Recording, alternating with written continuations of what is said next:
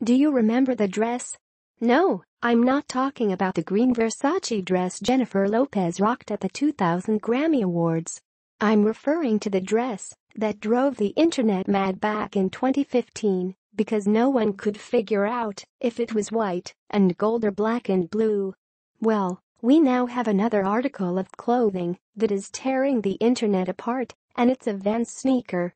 You will be asking yourself, what color is this Vans sneaker? once you see the photo that's tearing the internet apart.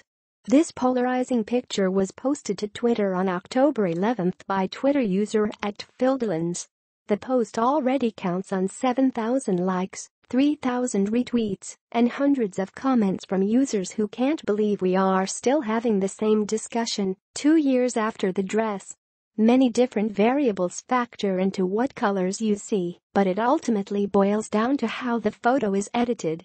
Unfortunately, the Twitter post has become unavailable by the time of publication, but the picture has also been shared on Instagram. The Vans sneaker in question has many wondering whether it is teal and gray or pink and white. I honestly see teal and gray because those are the obvious colors the sneaker appears to have. See the picture below, which is the same shoe shown in the original tweet, and tell me what you think.